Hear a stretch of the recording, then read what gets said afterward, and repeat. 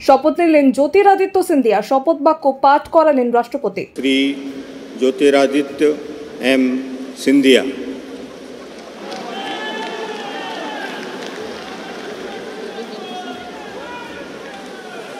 मैं मैं ज्योतिरादित्य माधवराव सिंधिया ईश्वर की शपथ लेता हूँ कि मैं विधि द्वारा स्थापित भारत के संविधान के प्रति सच्ची श्रद्धा और निष्ठा रखूँगा।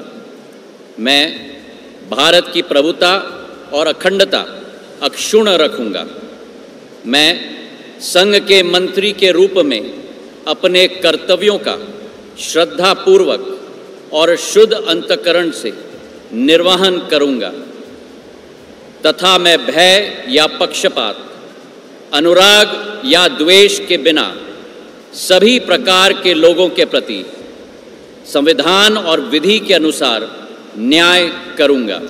मैं मैं ज्योतिरादित्य माधवराव सिंधिया ईश्वर की शपथ लेता हूँ कि जो विषय संघ के मंत्री के रूप में मेरे विचार के लिए लाया जाएगा अथवा मुझे ज्ञात होगा उसे किसी व्यक्ति या व्यक्तियों को तब के सिवाय जबकि ऐसे मंत्री के रूप में, अपने कर्तव्यों के सम्यक निर्वहन के लिए ऐसा करना अपेक्षित हो, मैं प्रत्यक्ष अथवा अप्रत्यक्ष रूप से संसूचित या प्रकट नहीं करूँगा।